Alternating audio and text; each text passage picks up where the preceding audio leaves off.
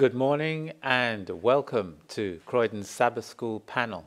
It's been a little while since I've been sat in this chair, so I apologize in advance if I uh, get a bit ring rusty. But it's wonderful to be in God's house and to be able to study His Word together on this holy Sabbath day.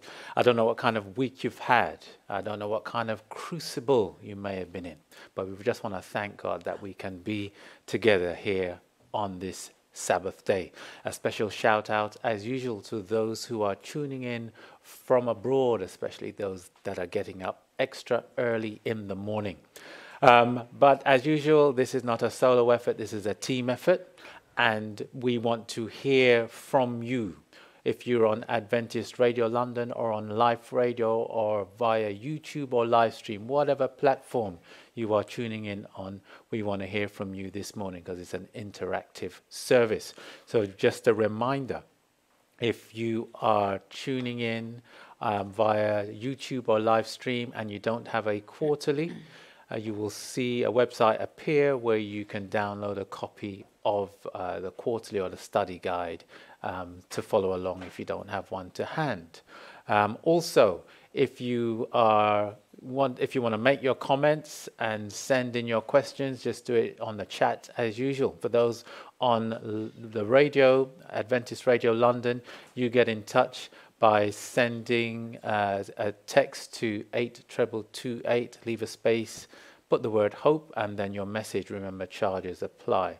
But you can also send in a message via the email address, which is studio at adventistradio.london. And if you're on Life Radio, your email address is studio at liferadio.uk. And the WhatsApp number for you is 07311409409. It's good to have Sister Marcia Lewis back with us, who is the, going to champion all the comments. Good morning to you, Marcia. Good morning, Brother Saul. Good morning, worldwide audience. Good morning, brothers and sisters. Good to see you. Good to be with you today. Also, welcome back, um, Sister Sita Zulu, who is no stranger to us, one of our young people. So, good morning to you, Sister Sita. Good morning. Happy Sabbath. Happy Sabbath to you. Thank you. And now, as mentioned, you know, I recognize that, that get up extra early. And so, for the first time, we have a guest pastor. His name is Pastor Andres Malcolm. He is the son of uh, brother and sister Malcolm, the brother of Michaela Mal- Malcolm, and a son of Croydon. And it's lovely to have you with us this morning. Good morning, Pastor Andres. A pleasant good morning to you all. Good to have you joining us this morning. So, we are going to dig into the study of God's Word, but before we do that, Sister Marcia, perhaps you can just have a prayer at this time to open God's Word. Sure. Let's pray. Oh, kind, merciful, loving Father, Lord, we are just so grateful for the Sabbath day, an opportunity for us to, to be in your presence, Lord, and to also share with one another the things that your Holy Spirit would have spoke to us in terms of the lesson. Father, continue to be with us, Lord. Help us to ensure that our minds are always in tune with your word. In Jesus' name, amen. Amen. Thank you very much. So we're at lesson number six in our study in the crucible with Christ. Powerful lessons, probably lessons that many of you may have uh, associated with. And today we're looking at struggling with all energy. The memory verse for this week is taken from Colossians chapter 1, verse 29. And the New International Version says, To this end I strenuously, strenuously contend with all energy Christ so powerfully works in me. So, to this end, I strenuously contend with all the energy Christ so powerfully works in me. Our Sabbath afternoon's uh, lesson introduction opened with a, a, sad story of an unrelated man and an unrelated woman. Um, they're on a talk show. Um, they both had children who had been murdered. The woman's son was murdered 20 years earlier, and the man's daughter a few years er, murdered a few years earlier. Truly, they were in a crucible. However, uh, the woman, even after 20 years, burned with anger and bitterness towards the murderer every day. But the father spoke of forgiveness for his daughter's killer. Two very different circumstances, with the mother still struggling with all her energy in the crucible, but the father appearing to no longer struggle. So, so Marcia, uh, you know, going back to our title, Struggling with All Energy, and the memory verse, to me, unless you are play fighting, surely you must struggle strenuously or, or with all your energy. Uh, is it possible? Here's my question Is it possible, though, that some of us who call ourselves Christians still don't understand that we wrestle not against flesh and blood? You understand where I'm coming from? Loud and clear. And Brother Johnny, um, absolutely capitalized in bold and, underscore. Mm-hmm. It is possible there are some of us who are Christians who really don't understand that we're wrestling not against flesh and blood. Take, for example, right now in the UK, in the city of Birmingham, we've got the Commonwealth Games. Mm-hmm in which we've got athletes from the countries of the Commonwealth participating in 19 different sports. And they're participating to achieve the prize of being crowned champion in their chosen sport. This competition comes around every four years, and in that time, what are the athletes doing? They are putting in hours of training to condition their bodies, ensuring they are eating right, to build and maintain physical strength as well as endurance. Some even go to the extent of employing sports psychologists to help them condition their minds so that they are in the best possible shape to face competition. We as Christians are aiming to win the battle against evil and live a life that is acceptable to God. So, along the way of life's journey, we will face challenges. And like the athletes, we need to be prepared, mm. but be prepared spiritually in terms of the hurdles that Satan and these evil agencies will throw at us.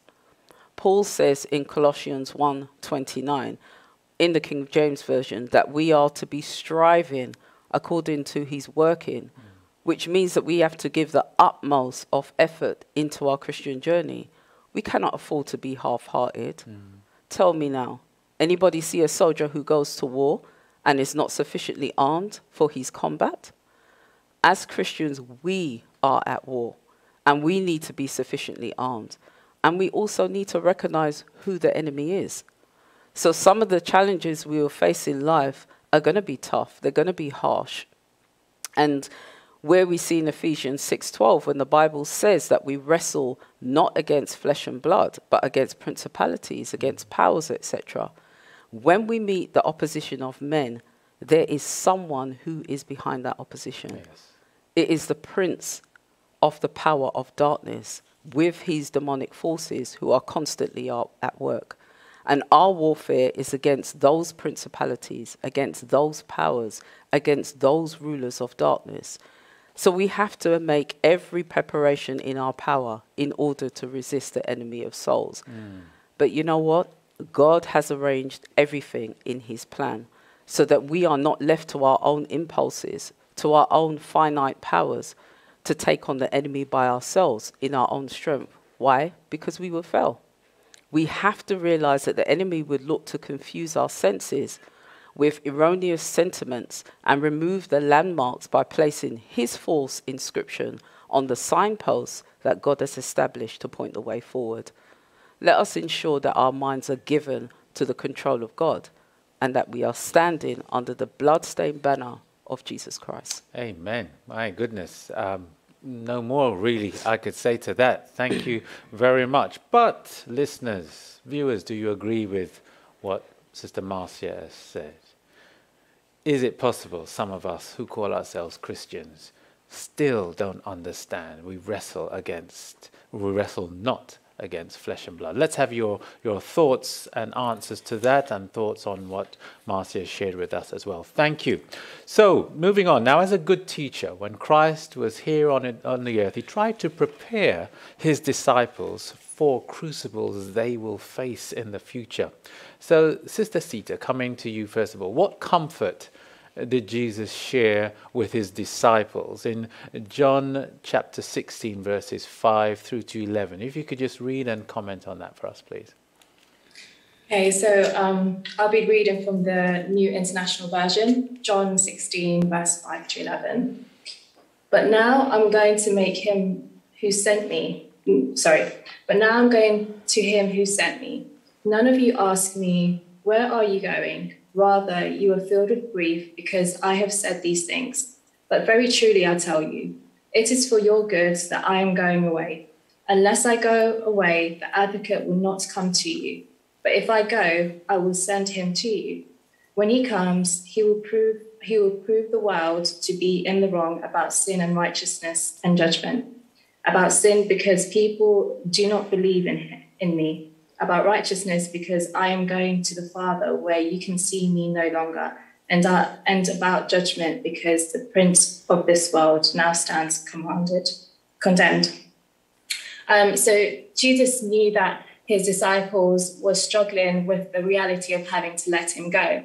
Um, and they had been with him for a long time and they depended on him. I'm sure they all questioned what they would do without Jesus when the disciples were worrying about not having him to guide them, the Holy Spirit was already in position, ready to take Jesus' place as their advocate, their representative, and their counselor. And Jesus encouraged the disciples to look forward to the coming of the Comforter, one who would never leave them and one who can only come if he himself left, if he himself left them. I believe that a really successful teacher makes his or her pupils ready for the inevitable and Jesus did just that. He told his disciples it's for um, it's for their good that he has to go away, and um, the Holy Spirit will show up in the shortcomings of the world and lead and lead it into right relationship with God and others, and convince it that love alone is the ultimate value on which we'll um, be judged. Mm-hmm. So the Holy Spirit is called the Comforter to bring comfort. But Pastor Andres, what else did Christ go on to say in particular? Um, how he addresses the Holy Spirit. If you could read for us verses 12 to 15 of the same chapter, John 16, and then just, just comment on that, please. Uh, most certainly, Elder Johnny. Uh, reading from the New King James Version, and it says, I still have many things to say to you, but you cannot he- bear them now. However, when he, the Spirit of truth, has come, he will guide you into all truth. For he will not speak on his own authority, but whatever he hears, he will speak, and he will tell you things to come. He will glorify me, for he will take off what is mine and declare it to you. All things that the Father has are mine. Therefore, I said that he would take of mine and declare it to you. Um, one of the things that I've seen here is that there are, there are two entities going on. You have the spirit and you have truth. Um, the spirit is God breathing, and the truth is coming also from the same source, God Himself.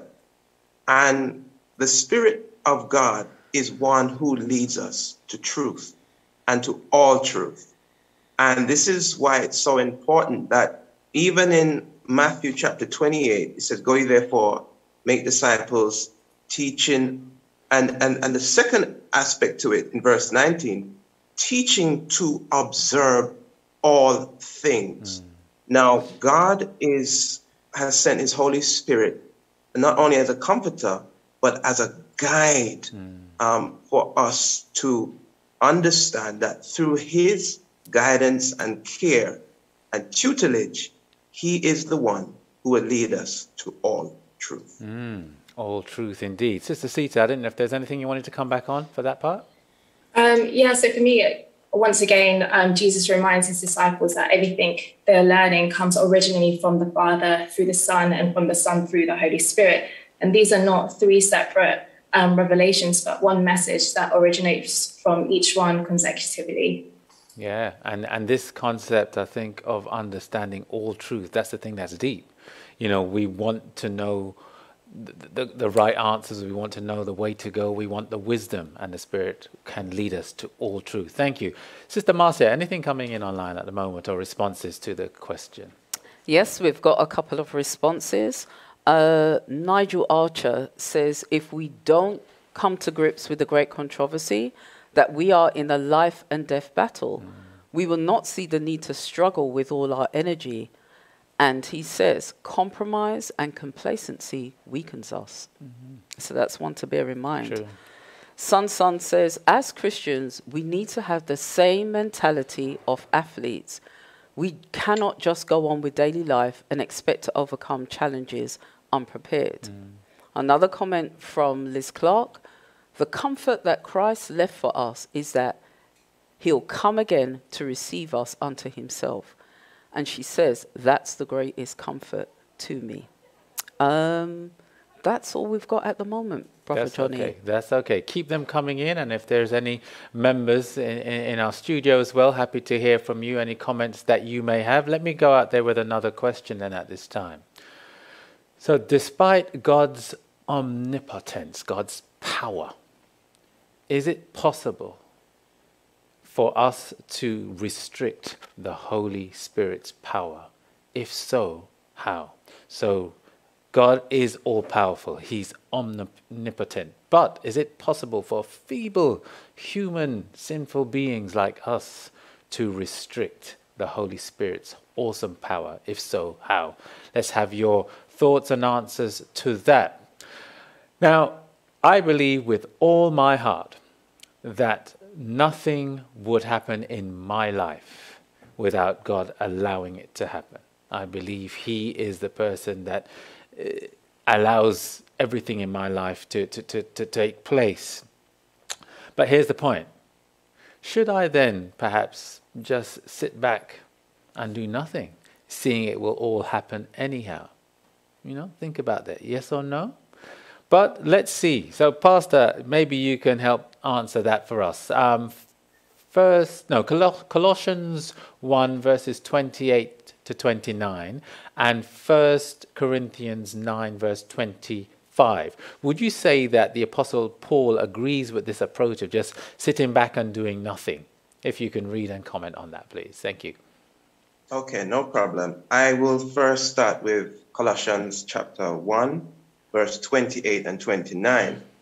And it says, Him we preach, warning every man and teaching every man in all wisdom, that we may present every man perfect in Christ Jesus. To this end, I also labor, striving according to his working, with which works in me mightily. And also looking at uh, 1 Corinthians chapter 9 and verses 25, and it says, And everyone who competes for the prize is temperate in all things. Now, now they do it to be obtained a perishable crown, but we for imperishable crown.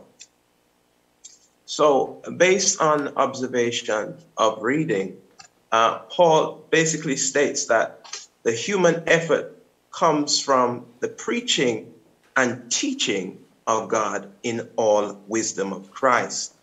And through this teaching, um, we it, it is not gone amiss with without the Holy Spirit. And the Holy Spirit um, plays a very important part on the human effort, as not only we're preaching, we're not preaching of ourselves, but we're preaching Christ crucified. And it's very important that we understand that God has enabled us as human beings to speak to human beings through the preaching of the gospel, which needs to and which enables men and women to be guided to all truth and lead men and women unto salvation. Mm. So, preaching, teaching, if I remember correctly from my school days, uh, words that end in ing, they are verbs, and verbs are action words. So uh, I think the inference there you're saying, Pastor, and what Paul is saying is that there needs to be activity. But let's see.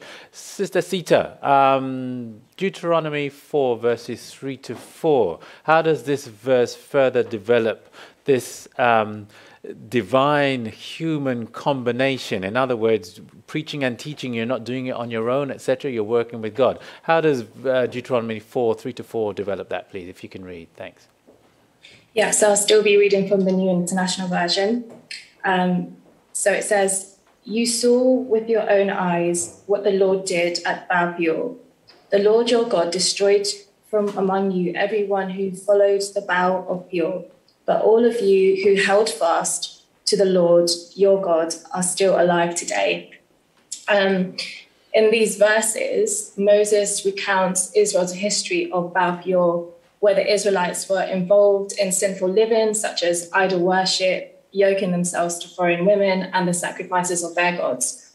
And consequently, all who participated in the worship of Baal died by a plague. And while this may not be a very pleasant text. It makes a point strongly as to the importance of submitting to God's commands, and the negative consequences always follow disobedience to covenant stipulations. Mm, mm. So, uh, again, I'm getting this working with God together. Pastor, you got anything to add on what Sita's come in with there? Um, just based on what we have seen, we realize that God must always be at the forefront of our ministry. And in order to be fruitful, we cannot um, do any work effectively without the work of the Holy Spirit. So it's in, very imperative that we understand that any preaching and teaching cannot go without the master teacher, mm. who is hmm. Christ himself. Mm. It sounds like um, Again, it's working together and recognizing that you're not in your own strength. We have uh, someone from our congregation, Elder Fabian, that is going to make a point on um, what we've just asked there or, or, or uh, some other point, whatever you want to share with us at this time, Elder Fabian. So we will um, cut over to you shortly. Just give us a moment to just make sure that we've got everything wired up for you. So we are ready, I believe, and we're going to cut over to take Elder Fabian's point any moment. Okay, there we are. Good morning, sir. Good morning, Elder Johnny. Um, you have uh, spoken about uh, two people initially in the lesson study, a man and a woman who lost their loved ones. And then the way they manage themselves seems to reflect the manifestation of the Holy Spirit in their lives. The man is able to bear what happened and the talk of forgiveness, which is probably a fruit of the Holy Spirit, how the Spirit has worked in his life. But the woman is still struggling with what happened. She appears to be at a different level in her spiritual growth.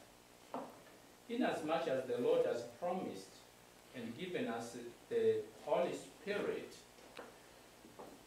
we notice that there are issues about how we should strive. Mm. Strive with our Lord, with our God, so that we'll be found worthy, worthy to be used by the Holy Spirit.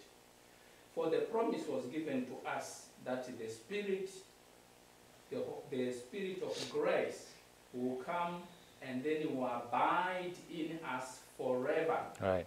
That abiding will lead to transformation mm-hmm. of our lives. But then the question is, how shall we be found worthy for the Holy Spirit to abide within us. Mm. And this perhaps is the reason why we might limit the presence of the Holy Spirit in our lives. Mm. Thank you. Good answer. Thank you very much. Um, just a, a, point from me on this. Um, Patriarchs and Prophets, page 248. It says, Many never attain the position that they may occupy because they wait for God to do for them that which He has given them the power to do. So check that, yeah? Where I was saying at the start, you know, should I just sit back and do nothing? God has uh, given us power and authority to do certain things. Um, and it could be we are not achieving what we need to, although God has given us the power to do that. So think, think on those things. Sister Marcy, coming back to you, any comments on um, God's omnipotence being blighted or restricted because of our uh, inability? Sure. In the YouTube, um, we've got Gillette Wainwright. She says, God cannot make us good if we're not willing to change. If I'm a habitual liar and I continually pray, pray to God for change, God would want to change us but we have to make that effort mm. to wanting the change. Mm. Nigel says, God, uh, the Spirit's power is only as strong as we allow it to be. We must, we must choose to cooperate with Him. God is not going to force us to do that which we refuse to do. Liz Clark says, I know God is all powerful and can give his servants power, but I, I often wonder if anyone is that holy today to receive God's power. Tom Tom says the power of freedom of choice that God gave us means we have the choice on how much of the Holy Spirit we will allow to work in us. But we cannot limit its power in others. Bev says we restrict the Holy Spirit when we refuse to listen to him. The Holy Spirit is the one whom the Father sent to be with us Jesus says, when the Comforter is come, he will guide us unto all truth. And um, Liz Clark, I think she she responds to the question um, that was posted earlier. She says, yes, we can restrict the power of God by being an habitual sinner. Oh. Mm. So, in terms of us wondering why why do we not have the, the power of the Holy Spirit? Why is it that things are not going the way we, we want to? We need to look at our lives mm. and check what it is that we are doing. El Chico says we can restrict the Spirit's power by the wrong choices we exhibit through our free will.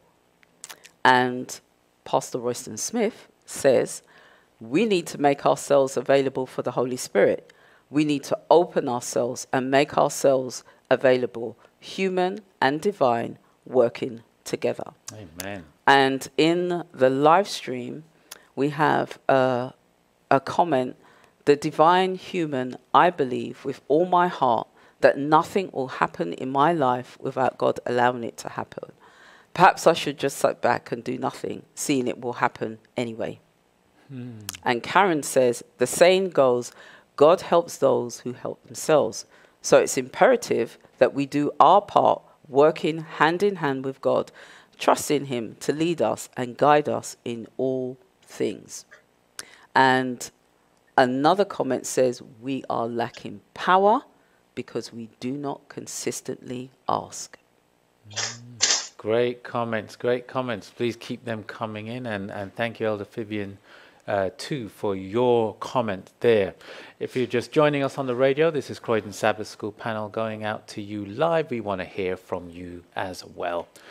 So here's another question. Um, we'd like you to share an example of where yourself and God successfully worked together to achieve something. What was your role and what was God's part? So think back where yourself and God, you know, worked successfully on something. We, we want some powerful testimonies. Just share with us what your role was and what God's role was. I'm sure that's going to encourage someone. So we look forward to hearing from you on that as well.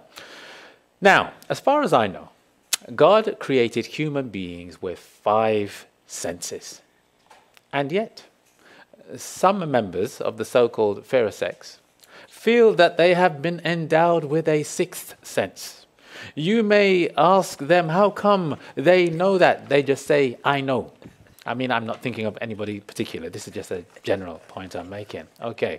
So, Sister Sita, just, you know, just coming to you as you were just next um, to be asked. So, I'm, I'm keen to hear your views on this sixth sense. But before that, just remind us of the significance, um, or a significant event, rather, I should say, in our human history of literally where one was just following their gut choice, if I can use that expression. Genesis 3, verse 6, if you could just read and expand, please. Thank you. So Genesis 3, verse 6, I'll be still reading from the New International Version. Um, when the woman saw that the fruit of the tree was good for food and pleasing to the eye, and also desirable for gaining wisdom, she took some and ate it. She also gave some to her husband who was with her, and he ate it. Um, know, as Eve gazed at the forbidden fruit in the Garden of Eden, it's easy to understand why she was drawn to it. The fruit looked really good to the eyes and desirable for wisdom. It was too tempting to resist. And I'm sure many of us can relate to Eve's dilemma as we encounter things that seem good, um, too good to pass up.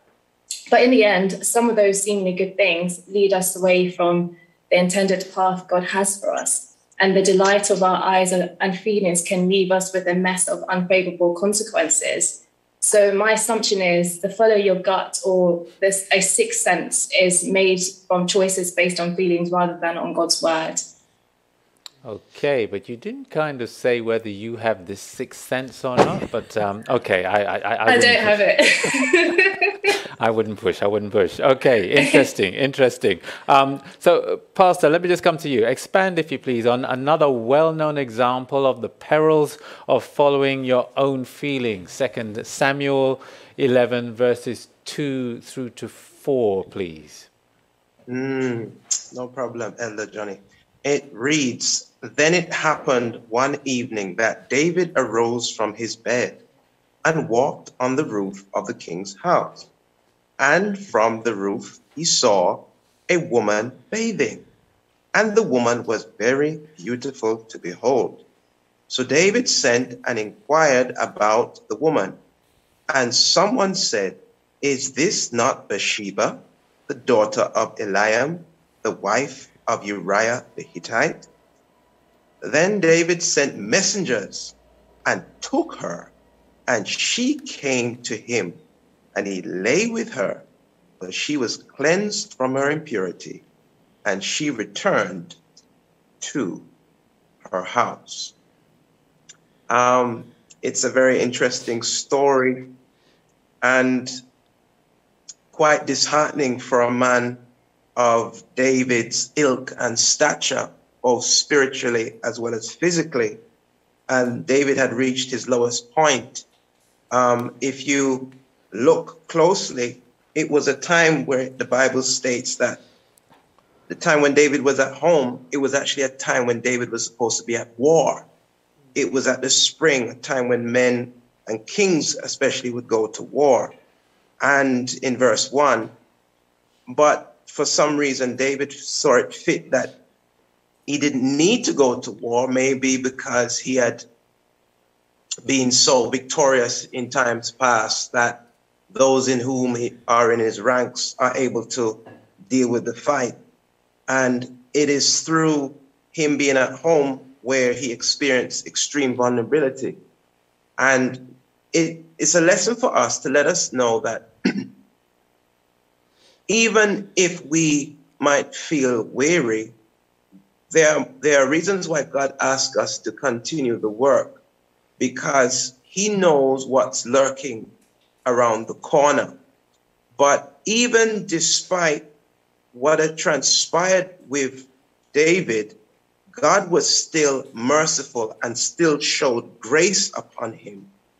Um, and this grace is so powerful that it provides a free gift, a provision, and a commission um, by God. And even through this terrible situation, something beautiful still came out of it. So um, that's why we can't lean on our emotions primarily. This is important why we have to lean upon God. He will navigate us in the areas in where we need to go so we can avoid these uncompromising situations. Indeed, indeed. And, and, and another point that kind of jumped out to me about David, we have to recognize that where God has blessed us in the past and where we may have achieved great things, it doesn't make us, um, what's the word I'm looking for? But it, it, we're, we're, we're still vulnerable to self and still vulnerable to these things. And that, that's the whole point. Um, um, I could see a hand. I'm going to take a hand in a moment. But let, just as we get ready to take a, com- a comment from um, somebody in our, uh, our studio, let me just go to you, Sister Sita, because we, we want to have an answer to this. So, what, what's the solution of, of this, this problem of the um, ill disciplined will, if I can call it that? First Peter 1, verse 13. What does Peter say? And so he says, Therefore, with minds that are alert and fully sober, set your hope on the grace to be brought to you when Jesus Christ is revealed at his coming. And so Peter understood that the mind is the control station where all the action takes place. Um, in order to not be controlled by feelings, we ought to bring the rationale and reflective powers of our minds under control. And for me, it's a significant. It's significant that Peter does not give a list of religious acts that will result in holiness. He simply says, change the way you think. And in Romans 12, verse 2, it says that we should not conform to the patterns of the world, but to be transformed by the renewing of the mind. Mm. So the process of being um, holy may be long and difficult, but the destination sounds like a life of peace and restoration. Mm, interesting. Just before I go to Elder Fabian, Pastor, you got anything to come back on? Yes. Um, in light of what was expressed, um, many times when we look at the word grace, we only look at it in one aspect, but it's not only unmerited favor from God, but it also deals with the transformation that God does in the character of hearts who are willing to be transformed. Mm. And that is why it's so important to die to self and growing grace mm. daily. Yes. Um, if we look at um, uh, James 4, verse 7, it says, Submit yourself to God, resist the devil, and he will flee from you. Amen. Thank you. Elder Fabian, thank you for your patience.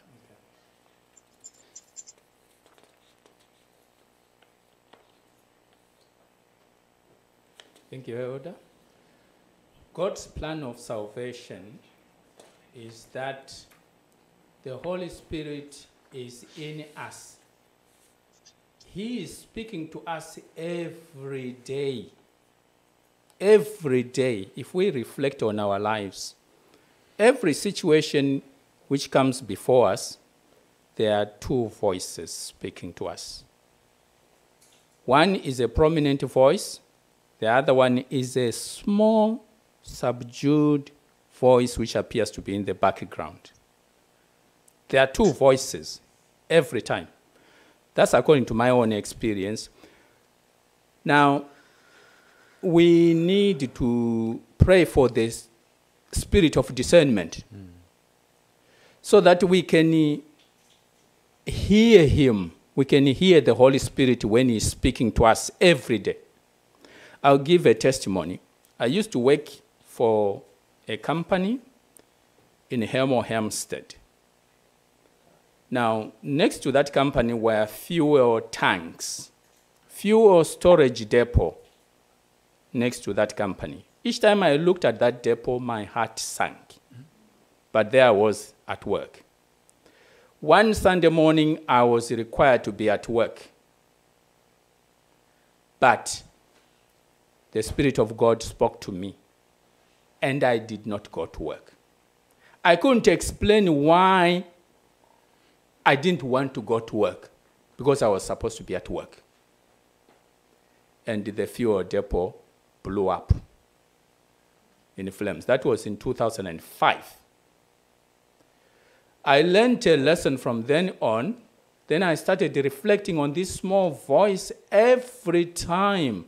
And I've noticed that God has given me an understanding of this voice. And each time I, I obey this voice, things work out for me. So here we are. The choices we make, there's no excuse for making those choices. Mm.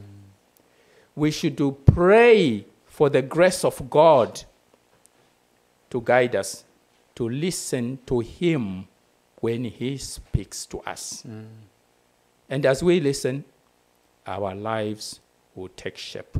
Thank you, Elder. Just before you sit, um, Elder Fabian, I just want to press you a little further. Um, you were able to, through that experience, recognize the, the, the voice of, of, God.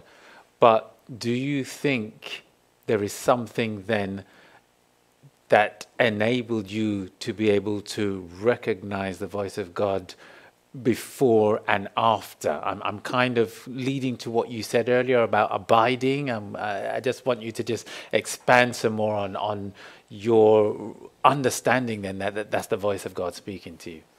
Thank you, Elder. What used to happen before, that voice would speak to me and I would disobey. Mm.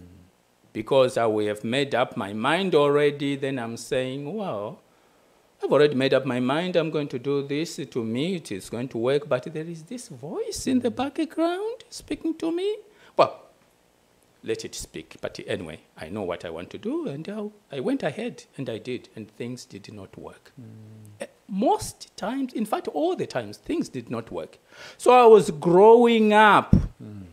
spiritually, and every time I was reflecting and questioning myself, how come when I decide to do something, and this voice is constantly speaking to me, and if I disobey it, things don't work? So, even before I became a, an Adventist, this voice was speaking to me to honor the Sabbath. Before I even became an Adventist, I disobeyed it. I was running a business which never worked. Come Sabbath, it was terrible until my wife actually says, you know what? This Sabbath thing, let's not involve these workers. Let's send them away. Mm. So it was a growth, a process of growing up. That's right. And now this voice speaks to me even when I go into the supermarket.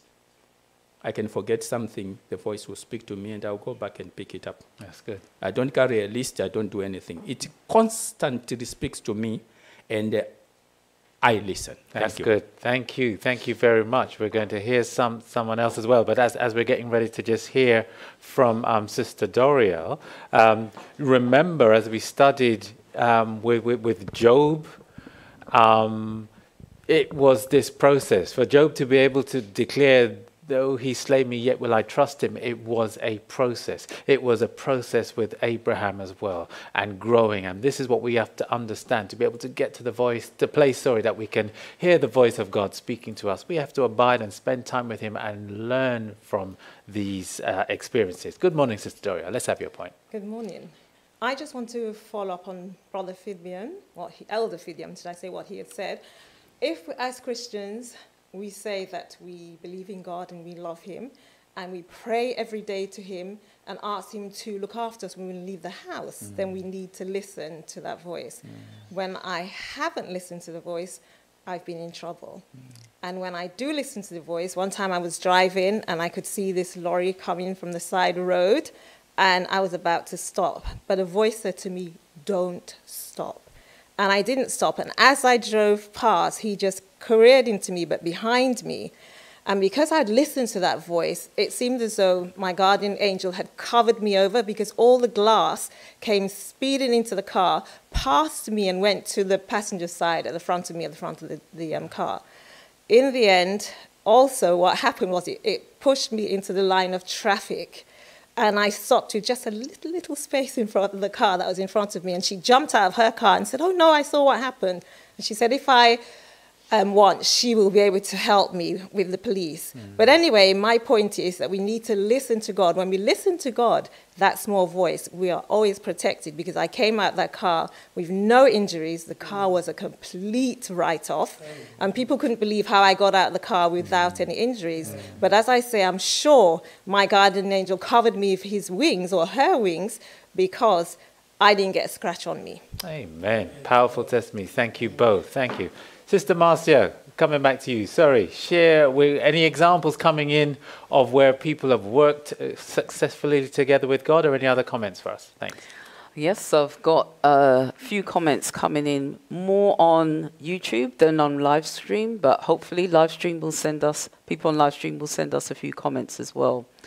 So Pastor Smith says in relation to the sixth sense, he says my grandmother was able to see right through me mm-hmm. and often predicted what I was doing or had done. Mm. Naughty pastor. El Chico says, There was a moment I wanted to walk out of this particular sin. Initially, I felt I could do it on my own by putting in the effort, but upon persistent failure, I asked God to empower me and a victory gained. So, amen. Um, in terms of El Chico gaining victory there. Um, the question is asked Do we sometimes downplay the Holy Spirit speaking to us as a sixth sense? The problem is we often override the Holy Spirit speaking and then justify why we are going to do what we do. Tom Tom says the sixth sense is the sense of perception or discernment that enables us to see through things or read between the lines. Some have more of it than others. I guess it's a gift from God. Um, another thought. Often I have a deep instinct not to do something. Anytime I go against this, I always regret it. Similar to what Doria was saying. Person goes on to say, I have learned that it's the Holy Spirit speaking to me. When I'm do when whatever I'm doing, I wrestle with it, seeking God's guidance. Um, another question from another comment, sorry, from Juliet Wainwright. She says, I was a bench warmer for so long. I closed my ears to the promptings of the Holy Spirit, who wanted me to do his bidding. When I decided to conquer my fears and be receptive, the Holy Spirit was allowed to do his work in me. And so then she then goes on to say, divine and human working together. Jennifer Morgan says, the saying goes that the devil finds work for idle hands. And she cites David. David knew he was wrong. He was informed that um, Bathsheba was a wife of one of his soldiers. Yet, at, at the end of the day, he made his choice. Kenneth Morgan says, self discipline is vital. How shall a person cleanse his or her thoughts? And then offers a solution. Choose to do what is acceptable to God, i.e., keep his commandments and follow the paths that lead to righteousness. El Chico says the more we succumb to temptations, the lesser the voice of the Spirit becomes. The more we overcome the temptations, the more power we gain for subsequent temptations. And then says, what a trajectory. Um, let's see, what else other goodies have we got here? Ah, Alicia says, to hear the voice of God, we've got to build a relationship. We will then know his voice. Yes. And in knowing his voice, we will then understand what God is saying to us. And Bev Blake says, um, My part was telling a friend of the love of God and what he did for me. And God worked with me. And the result was her friend's heart was not only convicted, but her friend surrendered to God. Amen. Jennifer Morgan says, You have to be a good listener and know who is speaking.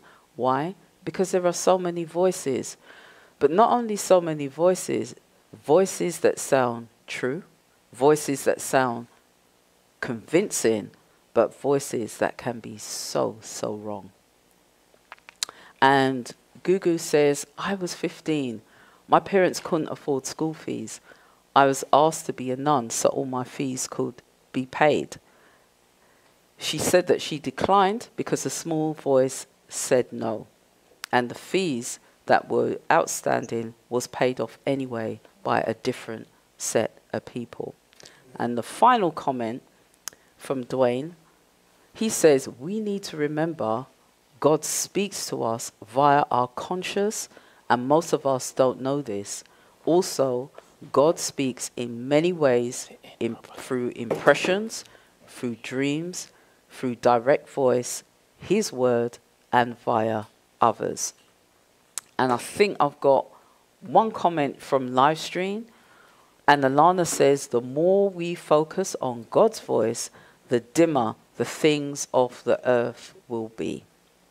Amen. And that's all the comments that we got. Great comments. Apologies for the background noise there, but thank you. Keep those thoughts and comments coming in. We really appreciate that. Here's another question for you How can I know if I am basing my choice on feelings or desires as opposed to the Word of God? We kind of answered this already, but I'll still put the question out there. How can I know? How can you know if you're basing your choice on feelings or desires as opposed to the Word of God? So if you haven't answered that question already, send us your comments and answers. So the Bible speaks about men and women that would not be bought, sold, or swayed. God wants them to be committed to Him. God wants us to be committed to Him. So, Pastor, coming back to you, in Christ's Sermon on the Mount, he tells us about true commitment. Um, Matthew 5, verses 29 through to 30. If you could just read and comment on those verses, please. Most certainly. And it reads If your right eye causes you to sin, pluck it out and cast it from you. It is more profitable for you that one of your members perish than for your whole body to be cast into hell. And if your right hand causes you to sin, cut it off and cast it from you. It is more profitable for you that one of your members perish than for your whole body to be cast into hell. Now, um, if we are to look at it literally, one would see that God is very harsh and um, but the words that are spoken here are metaphoric and symbolic, meaning God has to um, enable some um, situations to occur to save our very soul. And um, I have a sermon called A Radical Sacrifice for a Radical Savior. God has to um, enforce some radical situations to make a drastic change in our lives. And because he, he sees um, where we are going, the road that we are leading to.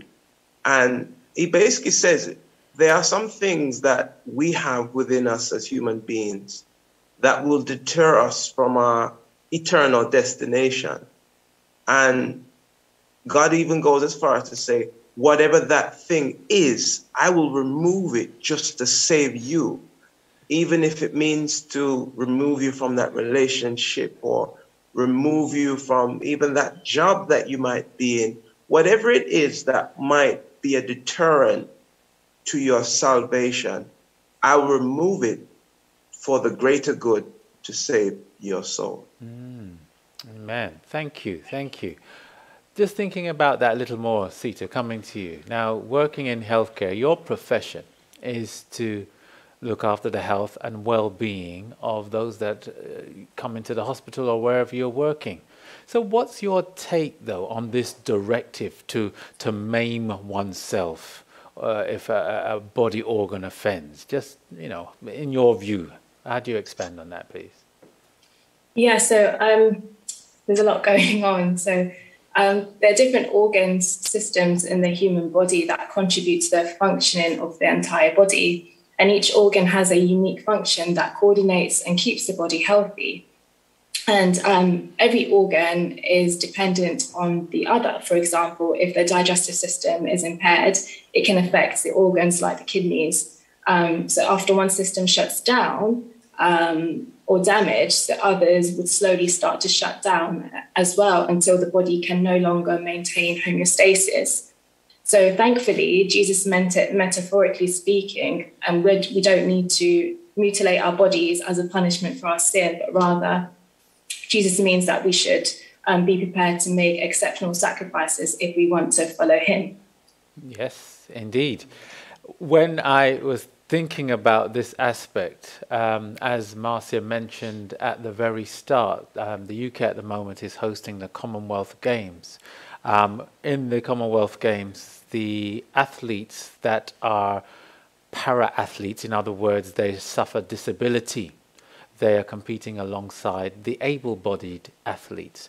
There was a particular female swimmer that the story went that um, she voluntarily um, had one of her legs amputated because the leg was not functioning properly anyway, but it was slowing her down where it came to swimming. So she chose to have this leg removed so it enabled her that when she is swimming, she can go faster. She's not carrying a dead leg, so to speak, if you excuse the pun. You know, it's a big thing when you think about it, but there's a message there that clearly where there was something that was preventing her from achieving the goal that she wanted to achieve, in her case, which is swimming faster, she then took that decision to have that removed. I mean, as, as both um, Sita and Pastor Andres have said here, God does not want us to mutilate ourselves, but clearly there is a message here that where something is preventing you from going on, from going and achieving what God wants us to achieve, we need to cut that off it's not talking about mutilation, but it's recognizing that we need to um, put things aside. But, you know, good examples there. Thanks for expanding on that. Um, let me come back to you, Sister Marcia. Um, there was a question on the floor. How can I know if I'm basing my choices on feelings or desires? Are any, any answers to that or anything else coming in, please? Yeah. I've got a couple of answers on that question. Uh, Liz Clark says, I know if my choices are based on the word of God by prayers and waiting for, uh, sorry, let me start again. I know if my choices are based on the words of God by prayers and waiting for his answers instead of going by my feelings as well as my, my desires.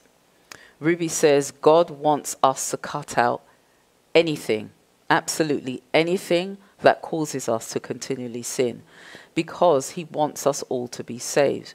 He does not expect us to be literally deforming our bodies. Mm. Um, Juliet says God's law and His word are there to guide us and lead us into all truth.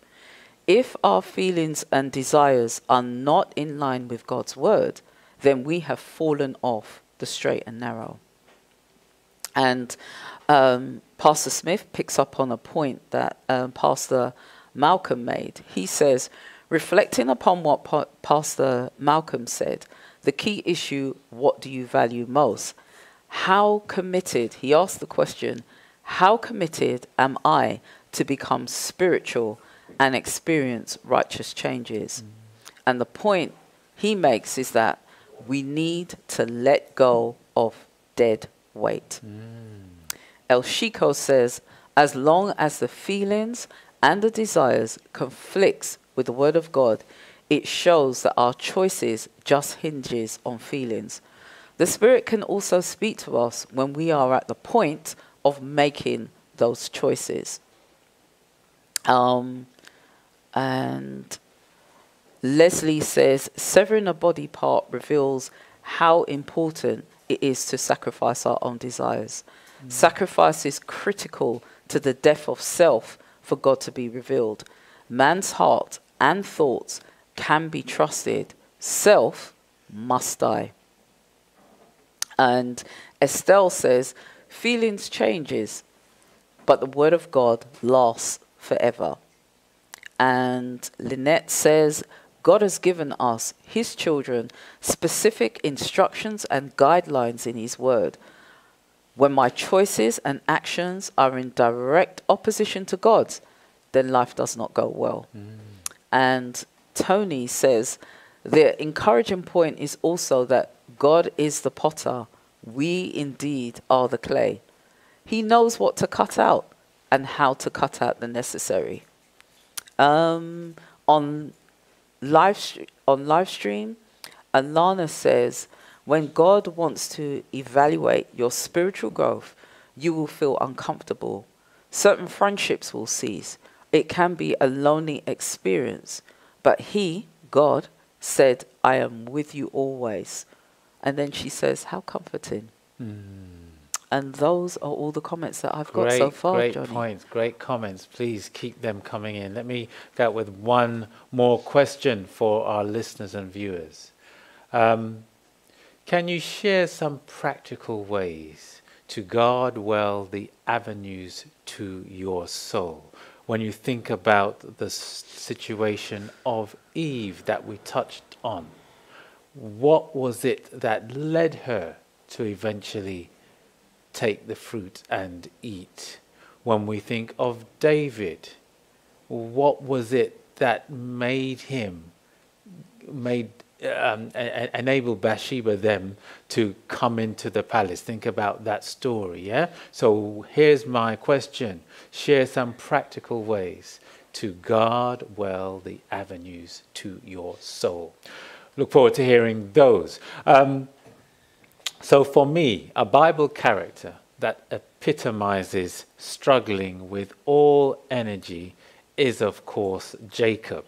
So, so let's, let's set the scene very quickly.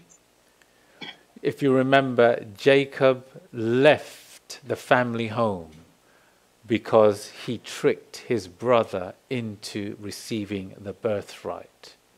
And Esau was not happy. In fact, Esau was angry. Roll forward many years. He's, he dreamt his dream of the ladder reaching heaven. He'd, he'd, he'd, he'd had um, the children of Israel, children of Jacob, which became the children of Israel.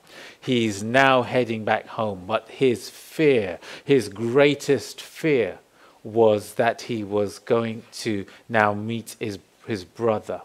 And he went apart to pray. So, Sister Seat, if I can come to you. Um, as we know, the Bible went on to say that Jacob wrestled effectively with, with, with Jesus, with God. Um, I don't know if you've ever wrestled um, with God like Jacob, but what do you personally learn from Jacob's encounter? Yeah, so um, I definitely feel like I have wrestled with God. I think many of us have in different um, situations. Um, one one of them being calling me to be a panelist. I didn't feel qualified. I would think, why is God choosing me? Um, trying to process what He's calling me to do has been a journey. But He reminds me daily that He wouldn't ask of me anything that I can't handle. He humbles me and makes me realize that it's not about me, but it's about who He can reach through me.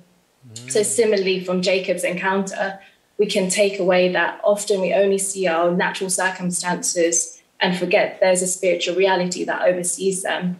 Um, in this story, God pulls back the curtain. Jacob's struggles was not only with Esau, it was also with God and with himself. God wanted to change Jacob through his difficulties, and God had always been wrestling with Jacob, seeking to get his will done in his life. Similarly, God has always been lovingly wrestling with us, seeking our submission to his will and kingdom. Indeed, indeed. Um, Andres, coming to you. Now, as a pastor, I imagine you may have had some debates with God, let's say. And I know, you know, you've had your own challenges. I, I just wanted to give you some time to just share anything to encourage um, us in, in, in terms of the need to persevere. Oh, over to you, sir. Uh, you, you, you, you've touched a very um, interesting uh, topic. They many many times we debate with God um, uh, and protest. I remember two years ago I was severely unwell. And I remember looking at the four walls of the hospital, asking God or saying to God, why am I here? Why am I in this situation? I'm a young man. Why am I why am I going through this? I mean, what is the purpose of me going through this? And you know, when you're in those kind of situations, um, you question God. You, you, you. Sometimes you think, you know, life is unfair. Uh, my my son would have just been born two months prior to me being sick, and um, you know, I was very upset, very frustrated, and so many things was running through the mind. But the assurance that I received from God said, what you're going through now will be a testimony to enrich somebody's life later. And it is through going through that experience, I really understood God's love, His grace, and His healing power. Mm. So we can really truly say that in the midst of the storm, God had the power to calm my storm and to bring peace in a troubled mind. Mm. And, I, and, and I'm very grateful that two years now, I'm in the best health, best shape I've ever been in a long time. And through that experience, I would say many have come to Christ through that testimony. Mm, mm, thank you. If I may, just going back to um, Jacob's situation. Um, you know, he, he was there, he set himself um, aside from the family because he went there now to, to, to pray and to agonize with God. He didn't expect a stranger was going to, to, to be there. And initially, then uh, bearing in mind where his mindset was, thinking about what is happening, his brother's on, a, on his way with 400 men, etc. So now there's this person, he didn't know who this person was. And he's now wrestling with this person. But here's the point now his hip gets touched, or if you like, his, his hip is dislocated, he's in pain. Now, at this point, surely that's where you kind of say, I surrender and, and, and, and give up. But no, um, they, uh, Jacob, sorry, clings on. And what does he say? Because he recognizes now who he's wrestling with. He recognizes that and he clings on and he says, Unless you bless me, I'm not going to let go. Now that takes a particular person because he, he was having mental trauma, if you like, up until that point. But now he's having physical trauma because he's feeling the pain. So when you think of that journey, it's like, you know, uh, have we been in that situation? I, I think Elder Fabian wants to make a point, so while he gets ready for this. But when you think of that situation, this crucible, because after all, that's what it's talking about, last week we spoke about extreme heat. So now uh, Jacob is experiencing not only this mental trauma, but he's now experiencing the physical trauma. Um, Elder Fabian, let me not take away whatever you want to share at this time. Go ahead, sir. Thank you, Elder. In the presence of divinity, when, when you are in the presence of divinity, it's different from being in the presence of another man if Christ comes in this room where we are, we feel different. Whereas if we are in a, another room where there's no Christ, it's a different situation. So Jacob must have felt divine presence and held on to divine presence to surrender all the challenges that he had the fears for his brother Esau and uh, whatever issues he had. This is why perhaps he pronounced to say, Unless you bless me, I will not let you go. Mm. And not only that, the Lord spoke to him. In that struggle, there was communication. Yeah? There was communication. It's almost getting to daylight. Mm. So he knew what was going on in that restaurant. even us in our lives as well, we get into those crucibles. We all are going through crucibles, or we've gone through crucibles, or we will go through crucibles. But uh, as long as we stay within the realms of divinity, mm. we will overcome. Mm. Thank you. Powerful point. Thank you. Thank you. Um, keen to hear your thoughts on that as well. And uh, it's that message there about when things are really boiling over. It's remembering that Christ is, is, is the vessel. Christ is the crucible vessel. So he's taking that heat. So we need to stay in there so that we can be purified and, and brought closer uh, to God and to, to get us to that position when we think of, um, as Elder Peter, when he demonstrated that, you know, the extreme heat, that's the time when you get the pure gold. So uh, that's my prayer for all of us, that we cling and we stay firm and committed to um, what God has set us to do and whatever challenges that we are facing. Sister Marcel, let me come back to you for our final online comments, please. Sure. On the live stream, um, Alana, in, in, in response to the practical ways to God, the avenues to our soul, um, Sister Lana says, it can be very lonely sometimes, um, but there are friendships that cease as one's spiritual walk with God grows.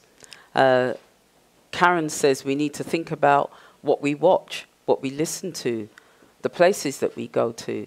Sometimes we don't realize the impact of what we take in is that, um, sorry, sometimes we don't realize the impact of what we take in is what will come out, sometimes unintentionally.